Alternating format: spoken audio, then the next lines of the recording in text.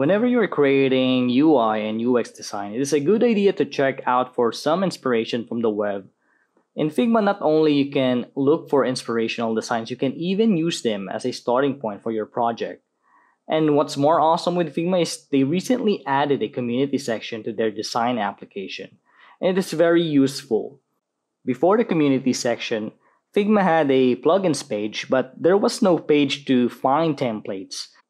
You just had to go online and then from there you'd be able to duplicate a template that someone else had made into your own files. But now they centralized everything into the app and you can see that over here. And there's a ton of files and templates and plugins shared by the community which is awesome. Hence the community tab. You can also see here that there are some suggested templates. And if you want to see more, you can click this see all button here and you will be able to see more templates. You'll notice that they are categorized and if you're looking for a certain type of template, you can just type that in here on the search box. But the templates here are limited.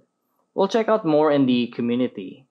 So with that said, let me just cancel that and I'll click this community tab here. And on this page, you can see we have different categories than what we have earlier.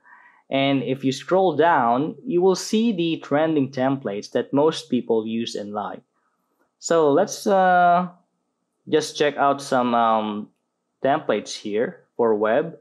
We can just uh, click on the web category here and Figma will present us a couple of templates from the community.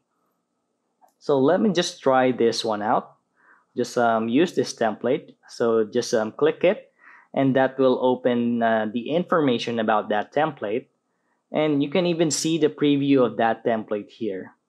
And at that point, all you have to do is click this um, get a copy button.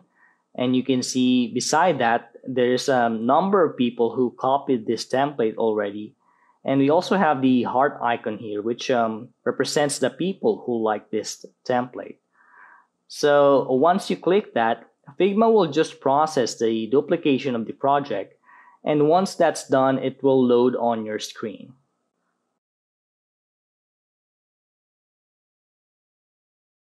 Phew! Look at all of those design and data on a new user's perspective, it is pretty overwhelming. Welcome to the world of user interface and user experience design. But don't worry, you will eventually get the hang of it. Once you've experienced doing it from scratch, you will notice that you have a lot going on already on your project after some time of working on it. So on the left panel, you can access the elements, components, layers, and assets of the template.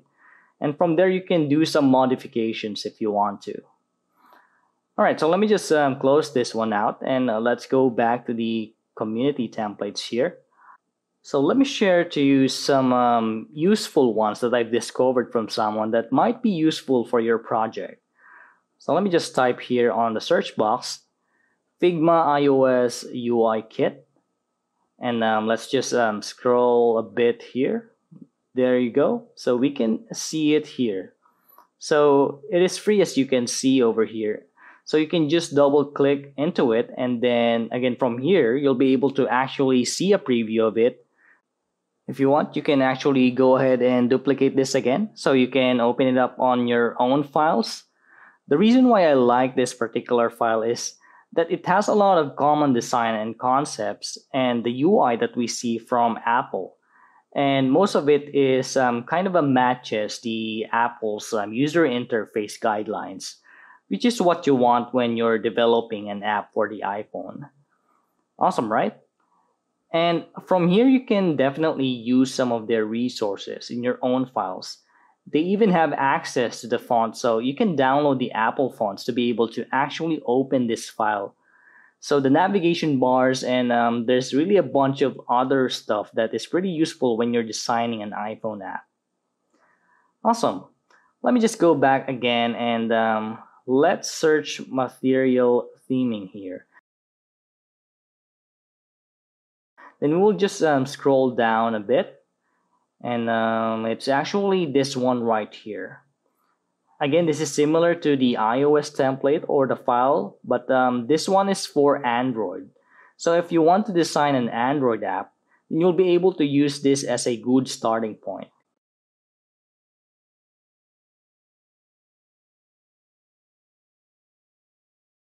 So you can see that they have a getting starting page. All you need to know to ultimately utilize this template. But then just be aware that this template that I find useful is what I find the best as of the recording of this video. Of course, there will be new ones as iOS and Android keeps updating.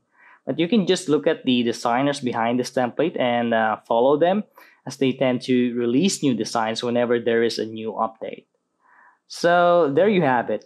Creating user interface and user experience design has never been easy with the use of templates here inside Figma, but in order to fully utilize each of these templates, we need to understand how everything works inside the program. And that's what we're gonna learn on the upcoming videos.